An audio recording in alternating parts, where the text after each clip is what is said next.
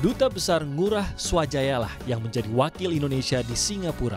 Otomatis jadwal pria kelahiran Bali ini tidak pernah kosong. Mulai dari membereskan urusan administrasi kedutaan, pengurusan tenaga kerja Indonesia, hingga mempromosikan wisata dan investasi Indonesia. Ya, tugas tubes lah.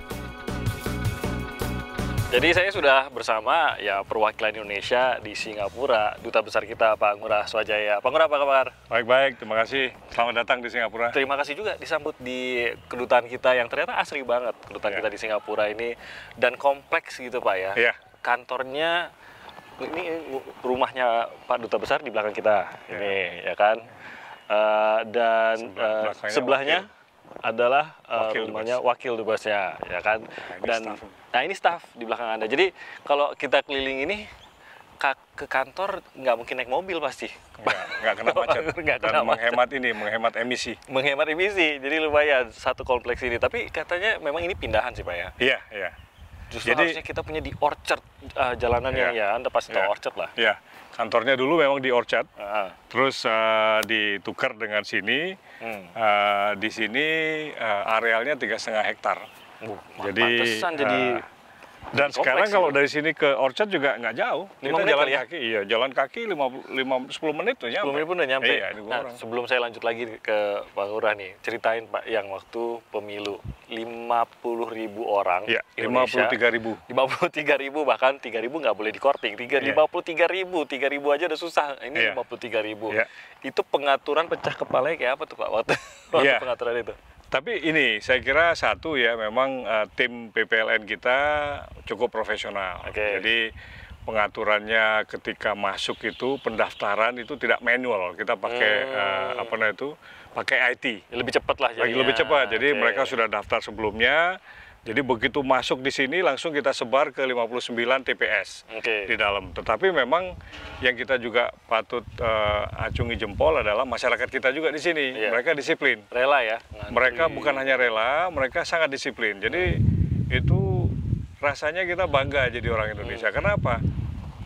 Antriannya itu bisa sampai hampir dekat Orchard situ. jadi panjangnya itu kalau misalnya orang antri dari ujung itu sampai di depan KBRI aja itu 4 jam. Mereka Dan antrinya 4 jam. mau ya? Iya, Empat dan mereka ngantri. mereka bukan hanya mau, mereka disiplin berdiri apa berjejer di atas trotoar gitu, Ah. nggak mengganggu lalu Ah. lintas, dan mereka bergembira. Eh, Ini kan kita lagi menyapa diplomat nih program Ya. kita Pak. Ini kebetulan program pertama kita langsung ke Singapura pejabat Pak Ngurah. Inilah Makasih. diplomat salah satu yang kita Makasih. sapa. Ya, bo- boleh ceritain mungkin sejarahnya dikit nih. Pada saat Pak Ngurah memilih untuk menjadi seorang diplomat, pernah menjadi pilihankah atau nggak sengaja kecebur gitu Pak? Itu kalau saya menjadi pilihan. Menjadi pilihan. Dari Karena- kapan tuh Bapak udah tahu saya mau mewakili? Karena kebetulan memang eh, waktu masih muda melihat apa Bapak masih eh, muda orang kok, berarti sekarang gitu Pak ya? Iya. Masih muda, ya, masih fresh Jadi gitu. waktu umur ya, berapa? masih umur lebih berapa? muda. Lebih muda Masih sih. lebih muda. Umur berapa waktu itu Pak? Waktu itu masih di mau masuk ke perguruan tinggi, Oke SMA, ya, kira-kira SMA gitu ya. akhir, Mau ambil jurusan. dan juga eh, apa namanya itu sudah sudah ngambil jurusan mau Oke. ke perguruan tinggi. Nah, pada waktu perguruan tinggi ya saya ngambil jurusannya Fakultas Hukum. Hmm. Nah, saya pikir ini pas. Nah, oh, malah malah hukum pada waktu itu. hukum, hukum. Jadi dengan dengan pemikiran akan masuk ke ranah diplomasi ya, eh, mewakili Indonesia begitu, tapi ngambilnya hukum. Gitu, hukum, itu. tapi Oke. jurusan eh, untuk skripsinya hukum perdata internasional. Ada oh, internasionalnya. Oke, jadi Jadi, sudah sudah waktu itu mau di, di di apa di universitas tempat saya sekolah di Universitas Udayana masih belum ada yang namanya sospol. Oke. Nah, jadi jadi kita ambil belum ada juga jurusan hukum internasional. Hmm. Jadi eh, hukum, hukum perdata internasional. Ketika saya masuk eh, ke Kemlu ini eh, rekrutmen langsung ke perguruan langsung? tinggi. Ya, jadi kan Oh. Kemlu punya program merekrut langsung dari berbagai perguruan tinggi. Oke. Nah, jadi saya dari Udayana pada waktu itu direkrut langsung, ada tesnya segala macam, akhirnya ceritanya singkat cerita keterima. Nah, eh, satu lagi yang menarik ini, eh, Pak Ngurah. ada yang saya tahu sekali lagi bahwa diplomat itu uh, hanya kita bisa membayangkan sedikit saja gitu Yeah. apa, apa pekerjaan seorang diplomat. Tapi yang, yang menarik juga khususnya juga uh, untuk negara-negara yang mungkin pekerja migran Indonesia banyak. Yeah. Singapura lah pasti Singapura salah salah satunya, satunya, gitu ya. kan. Ternyata tidak hanya sebatas uh, apa menjaga hak mereka atau Hmm. perlindungan terhadap mereka, bahkan pelatihan-pelatihan. Ya, ya. Saya dengar bahkan KBRI mengatur pelatihan barista segala Iya, gitu. Itu- betul. Kenapa sampai ke sana tuh, Pak? Nah, gini, kan kita punya sekitar 120 ribu pekerja migran ya. Iya. Kenapa pekerja migran yang perlu kita prioritaskan? Karena memang kita anggap mereka yang paling rentan, karena mereka tidak skill workers. Nah, kita berpikir mestinya mereka jangan hanya berhenti menjadi pekerja migran. Hmm. Oleh karena itu, kita perlu berikan keterampilan. Oke. Nah, dengan keterampilan itu kita harapkan ketika dia selesai bekerja, dia bisa mandiri, Punya dia bisa berusaha sendiri. gitu ya. Nah, Hmm. kita bikin survei, mas. Oh, ada Kita- dari survei. ada ada di Oke. website kita kita bikin survei. Kalau misalnya ada pelatihan, kira-kira anda tertarik apa? Pelatihan apa? Nah, gitu. Jadi salah satunya memang ya barista, Hmm. rias eh, rias pengantin, Oh. udah itu terus eh, make up, penata rambut, Ah, udah itu kursus bahasa Inggris, bahasa Mandarin. ah. Bahkan juga di survei itu ada yang bilang, saya ingin kursus ternak kambing gitu. Ya gimana kita Ada ternak kursus, kambing? ada kursusnya ternak kambing. Ada permintaan. Ada permintaan. Ada permintaan, tapi kita nggak bisa penuhi di sini. Sejauh ini belum. Agak susah nyari kambing di Singapura kayaknya gitu ya.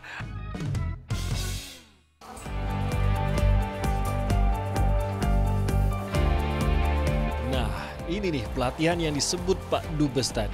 Ada delapan jenis pelatihan yang disediakan di sini, mulai dari kursus menjahit, bahkan ada tiga level menjahit.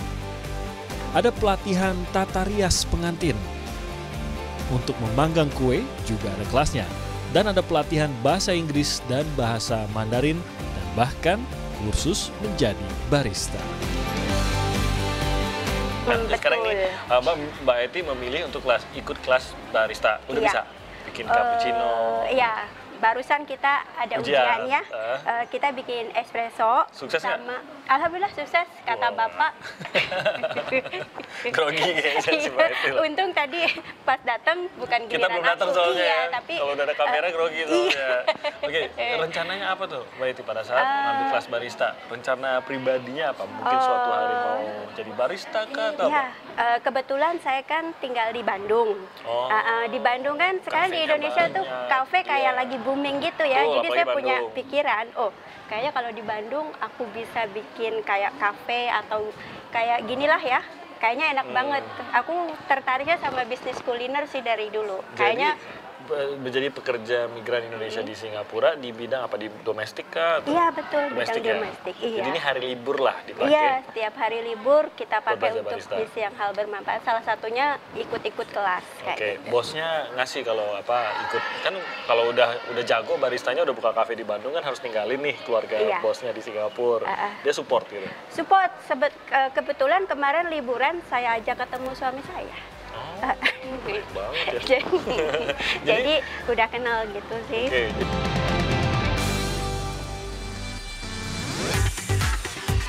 Bukan hanya pelatihan, bahkan bagi PMI atau pekerja migran Indonesia yang mau menyelesaikan pendidikan formil bisa melanjutkan sekolah dan bahkan kuliah sambil bekerja. Saya beruntung kali ini bisa bertemu dengan 13 PMI yang baru saja menerima gelar sarjana mereka. Semuanya berkuliah sambil tetap menjadi pekerja rumah tangga di Singapura. Salah satunya Mbak Umi yang baru saja diwisuda November 2019 lalu.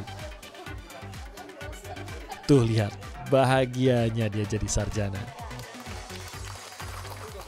Ibu Umi Nadiro ini salah satu dari 13 sarjana baru Universitas Terbuka yang kuliah sambil tetap bekerja sebagai pekerja migran Indonesia. Jadi selamat Bu Umi sudah memperoleh sarjana Umi begitu namanya. Ya. Jurusannya apa Bu Umi? manajemen Manajemen. ya Saya mau tahu dari awal eh, waktu Bu Umi mulai apa meng- mengambil pendidikan karena kenapa saya memilih Ibu Umi ini untuk ngobrol-ngobrol karena Ibu Umi bukan mulai dari kuliah ya. ya ya Pada saat mendengar ada pendidikan yang bisa dibantu oleh KBRI Singapura itu dari kejar paket.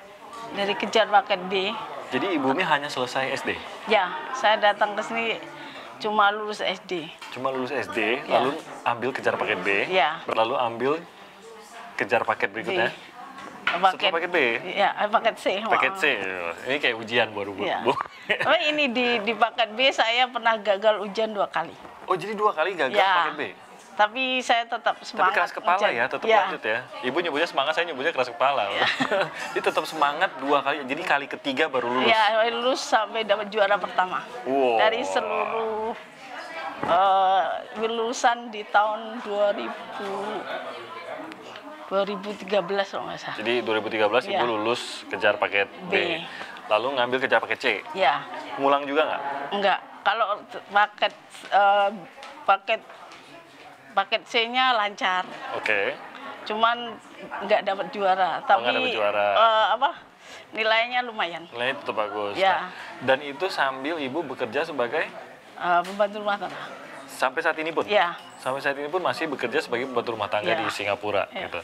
Ada bantuan dana nggak? Karena kan memang pendidikan waktu ngambil Ya. di sekolah Indonesia Singapura kan uh, murah tapi dibandingkan sekolah Ya. lain, tapi kan tetap ada biayanya Ya. tuh. Ada ada yang enggak. Saya biayain sendiri. dari gaji Ya, seluruhnya. ya. Kok saya pengen maju sendiri. Wow. pengen ada semangat sendiri gitu. Jadi pada saat mau ngambil pendidikan bahkan sekarang ya kita tahu sekarang sudah lulus menjadi seorang Ya. sarjana gitu. Pengen maju sendiri itu artinya apa? Pengen pekerjaan yang lain kah atau ingin jabatan lain atau atau apa sih? Jawaban lain sih tidak. Saya ingin bikin usaha yang bisa membantu orang lain, Mhm. bukan buat saya sendiri. Jadi kayak orang ibu-ibu rumah tangga yang punya anak kayak dia nggak bisa bekerja tapi dia memerlukan uang bantuan. Saya pengen di bidang itu.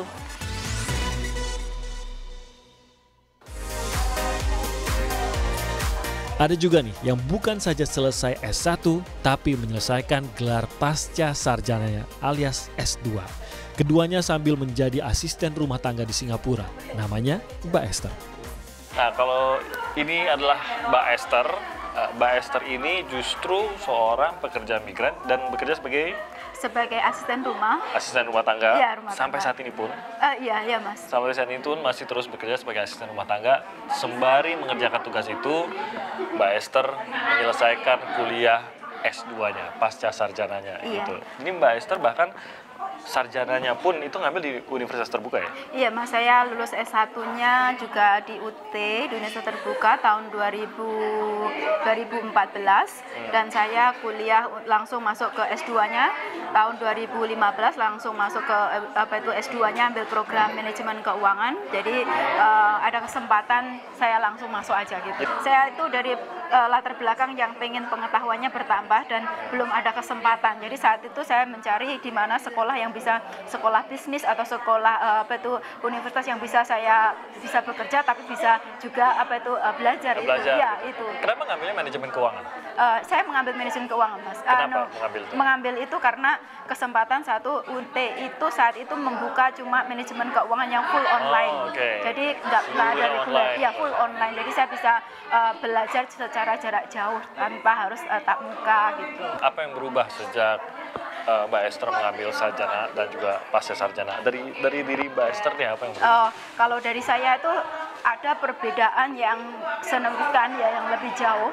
Selama saya itu mengambil program pendidikan apa itu di universitas terbuka ini ilmu pengetahuan saya bertambah satu. Yang kedua itu cara saya berkomunikasi dengan orang lain saya memanage waktu itu juga sudah berbeda mas. Dulu saya nggak tahu bagaimana program waktu saya harus saya eh, imbangi kayak gitu. Bagaimana sih antara belajar bagaimana memanage keuangan saya, bagaimana saya harus apa itu eh, menggunakan waktu-waktu saya itu dengan adanya saya sekolah, saya memikirkan bahwa semua waktu saya itu harus terbagi de- tersusun dengan rapi, Rapi, supaya gitu ya. semuanya berjalan dengan baik. Dulu nggak gitu? Eh, dulu nggak seperti itu mas, waktunya cuma hangout dengan teman, jalan-jalan, ikut kursus sana, ikut kursus sini tanpa ada tahu opportunity apa yang akan ada di depan saya. Dengan adanya universitas ini kan saya level pendidikannya bisa bertambah dan juga diakui baik di dalam negeri maupun luar negeri. Jadinya apa itu semua pihak itu sebenarnya mendukung selama kita ada kemauan gitu.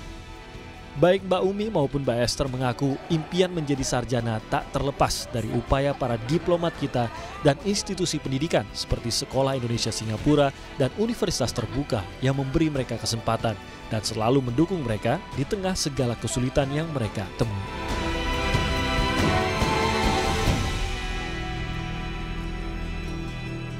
Itu tadi gambaran sebagian tugas diplomasi yang dilakukan oleh para diplomat kita, khususnya yang berada di Singapura. Nah, Sapa Diplomat akan kembali lagi bulan depan dengan destinasi dan pastinya diplomat lainnya juga. Saya Timothy Marbun, juru kamera saya Ferry Ahmad, pamit dulu. Kita jumpa lagi di Sapa Diplomat berikutnya bulan depan.